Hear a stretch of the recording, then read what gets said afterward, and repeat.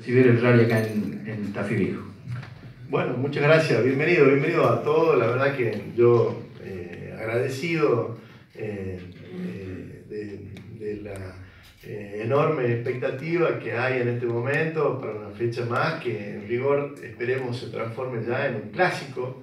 a eso apostábamos el, el, año pasado y hoy lo estamos editando ya como segunda edición a la, a la fecha de que nos asocia directamente a la ciudad de Tafí Viejo, que lleva el nombre de Limón y que es lo que, lo que estamos buscando. Es decir, que la ciudad abra las puertas a otro tipo de desarrollo eh, y oferta, este, en este caso deportiva, pero que se combina también con el turístico. No es casualidad que estemos haciendo esta conferencia de prensa hoy en la Hotelia Atahualpa Yupanqui, que estemos abriendo las puertas para que eh, el deporte el motor sea una, una, realidad bien concreta, tangible en nuestra ciudad. Nosotros ya con esta segunda fecha apostamos que debe ser la tercera, la cuarta, la quinta y así no parar más.